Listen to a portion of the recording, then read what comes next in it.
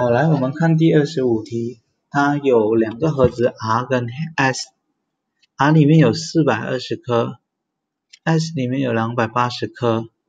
然后杰汉从 R 中拿一些玻璃，然后即从盒子 S 中拿出它的二十八线，这一个他拿出他的二十八线，他拿出来的总数是二二四。然后他问从 R 中拿出来的百分比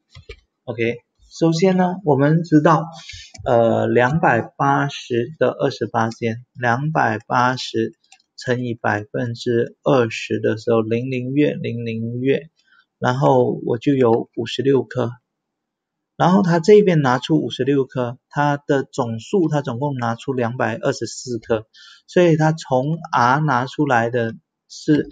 二二四减五十六，然后一二三四八六，然后一，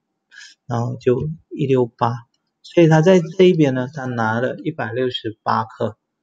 ，OK，嗯，检查一下哈，OK 好，然后他现在要的是从 R 拿出的玻璃弹珠的百分比，所以我们记得百分比的情况之下呢，它是分子除以分母。然后再乘以一百八线，所以这一边的分子是一百六十八，分母是四百二十，再乘以一百八线，零零月，OK，四十二，一四十二，四十二，四四十二，四十八，所以它答案是四十八线，所以答案是 C，四十八线，OK，我在这一边我很快的看到四十二的四倍是一六八，如果你看不到的情况之下呢，你可以把它变成。一六八零除以四十二，然后你一六八零除以四十二的时候呢，你可以用来除，OK，但是你看啊，一六八零除以四十二的时候呢，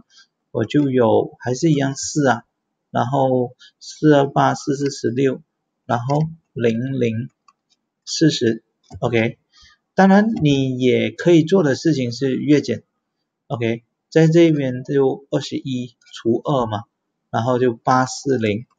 然后呃八加四十二，三的倍数，三七二十一，三二六，然后三八二十四，OK，二八零，一七七，七四二十八，四十，所以他还是拿到一样四十八线，然后就是看你要怎样去做它。不过最重要的那一个东西是什么呢？最重要的就是分子除分母再乘以一百八线，就是说它的分子的部分呢是它的那个符合条件的，分母是总共的，然后再乘以一百八线，这个就是百分比。